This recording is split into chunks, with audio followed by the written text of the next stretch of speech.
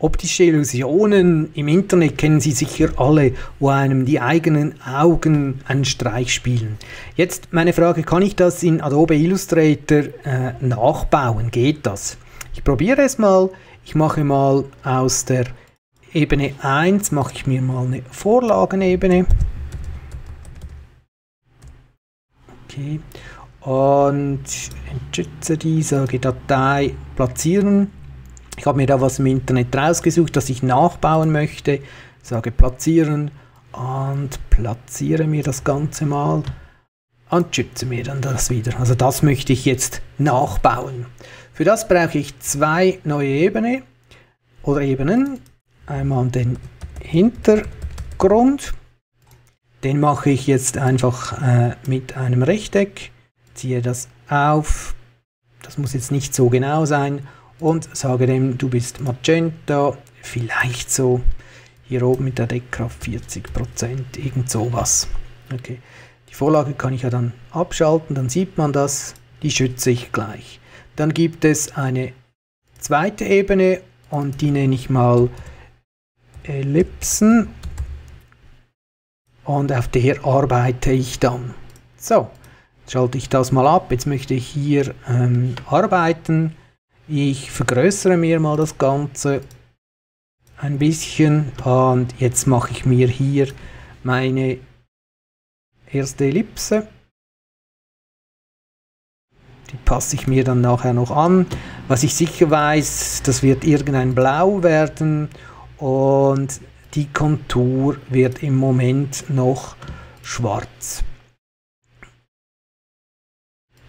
Schwarz und vielleicht so diese Dicke in dem Sinn. So, jetzt mache ich das mal ein bisschen kleiner und ziehe das wieder auf, bis mir das gefällt, ungefähr so. Jetzt sehen Sie, was das Problem ist.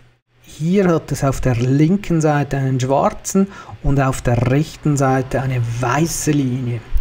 Wie mache ich jetzt das? Am einfachsten, ich gehe in den unter Fenster und dann in den Verlauf. Und jetzt erstelle ich mir hier einen neuen Verlauf. Also, ich wähle den mal an, kehre den mal um, dass ich schwarz hier habe. Und jetzt mache ich hier nochmals eines. Das mache ich mir auf die Position 50 und die Deckkraft wäre 100%. Und das gleiche mache ich gleich nochmals wieder auf 50, dass die übereinander sind, aber dieses Mal hätte ich gerne weiß. Okay, jetzt habe ich hier schwarz, hier weiß. Es gibt einen Verlauf, den ziehe ich mir hier noch kurz hinein, dass wenn irgendetwas passiert, könnte ich das ändern. Den Verlauf so brauche ich jetzt nicht mehr. Jetzt sage ich dir Kontur, ich hätte gern diese Kontur und schon haben wir das. So, jetzt äh, brauche ich hier ja noch äh, weitere. Ich wähle das mal an und ich gehe hier über das Skalieren-Werkzeug. Doppelklick auf das Skalieren-Werkzeug und ich mache das mal 70% vertikal, nicht nur horizontal. Ähm, die Konturen skaliere ich und sage kopieren und verschiebe das mit gedrückter Shift-Taste hier hin. Dann Doppelklick, kopieren, ich lasse die 70%, schieben wir das hier hin. Nochmals kopieren, und das sieht gar nicht so schlecht aus. So, jetzt haben wir äh, diese Sachen. Und jetzt mache ich es so, ich kopiere das einzeln mit gedrückter Alt- und Shift-Taste.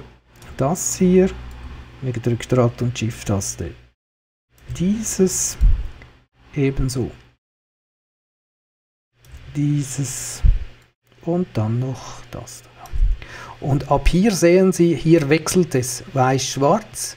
Also müssen wir das Ganze umkehren. Ich markiere das Ganze, gehe ein bisschen kleiner, dass Sie es äh, ein bisschen besser sehen. Mit gedrückter Alt-Taste kann ich das hier machen. So, jetzt habe ich hier noch irgendwas, das ich gar nicht brauche. Also, ich kopiere mir das Ganze, auch mit gedrückter Shift-Taste rüber. Und jetzt wäre noch alles falsch, das heißt, ich gehe auf das Rotieren-Werkzeug und rotiere mir das mal, dass das so aussieht. Okay. Jetzt haben wir hier die, den Wechsel. Schwarz-Weiß, Schwarz-Weiß und dann fängt es so an.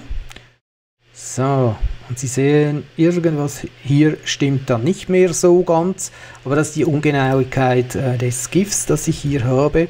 Das heißt, ähm, jetzt brauchen wir nochmals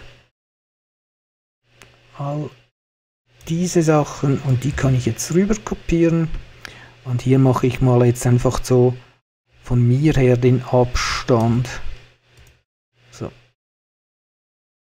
Vielleicht noch ein bisschen rüber. So. Wenn man das jetzt mal wegnimmt, sieht das so aus. Ja. Ich gruppiere mir das Ganze mit Befehl und G und kopiere mir das jetzt mal nach unten. Auch hier werden Sie dann sehen, hat es ein bisschen Unsauberkeiten. Befehl D, Befehl D. Und ich mache jetzt noch eines mehr. Schiebe das so hinauf. Markiere alles und verteile das jetzt mal in der Höhe. Okay, sieht doch gar nicht so schlecht aus. Jetzt nehme ich das weg, mache das ein bisschen größer, so dass man das sehen kann. Nehme den Hintergrund noch dazu und Sie sehen, es funktioniert. Wenn Sie das sehen können, dann funktioniert es. Wenn nicht, dann kann es an Ihren Augen liegen. Es können nicht alle Leute sehen, aber hier sieht man es relativ gut, dass sich da was wie bewegt. Sie sehen also, Sie können etwas wirklich auch in Illustrator nachbauen, Ihre eigenen optischen Illusionen. Ich bin gespannt, was Sie für Resultate erzielen.